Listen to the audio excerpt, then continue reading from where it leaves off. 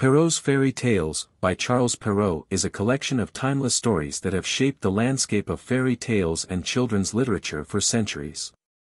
Comprised of well-known classics such as Cinderella, Little Red Riding Hood, Sleeping Beauty, and Bluebeard, this anthology remains a foundational cornerstone in Western literary tradition. One of the remarkable aspects of Perrault's tales lies in their enduring relevance and universal appeal. Despite originating in the late 17th century, these narratives continue to captivate audiences of all ages and cultures. Perrault's masterful storytelling transcends time, illustrating the fundamental truths and moral lessons that resonate across generations. Central to Perrault's tales is their moral essence. Each story is imbued with a moral lesson, often delivered at the tale's conclusion, reinforcing societal values and ethical principles.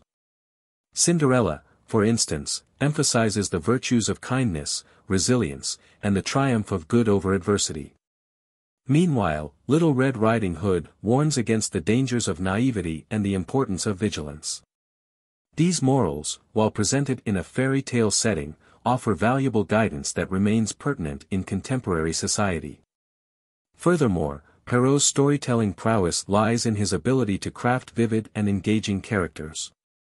From the oppressed yet resilient Cinderella to the cunning and deceptive wolf in Little Red Riding Hood, each character is meticulously developed, contributing to the richness and depth of the narratives. The protagonists often embody relatable human traits, allowing readers to connect with their struggles and aspirations, fostering a deeper emotional investment in the stories. Perrault's narrative style is characterized by its simplicity and elegance. His clear and straightforward prose enables accessibility for readers of varying ages and backgrounds. The tales are crafted with a rhythmic and poetic quality, contributing to their oral tradition roots, as these stories were initially shared through oral storytelling before being transcribed. Moreover, the cultural significance of Perrault's fairy tales cannot be overstated. These stories have become ingrained in popular culture, serving as source material for countless adaptations in literature, theater, film, and other forms of media.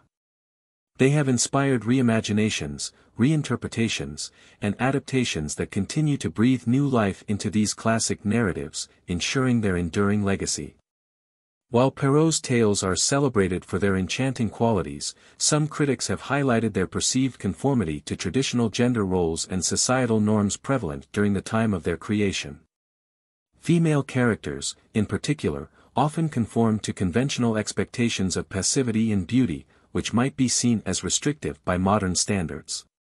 However, others argue that Perrault's tales, when viewed in their historical context, reflect the societal norms of his era and still offer opportunities for contemporary reinterpretation discussion.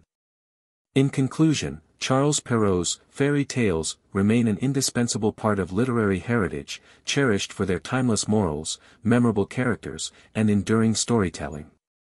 Their ability to entertain, educate, and resonate with audiences across centuries solidifies their place as literary treasures that continue to enchant and inspire generations worldwide.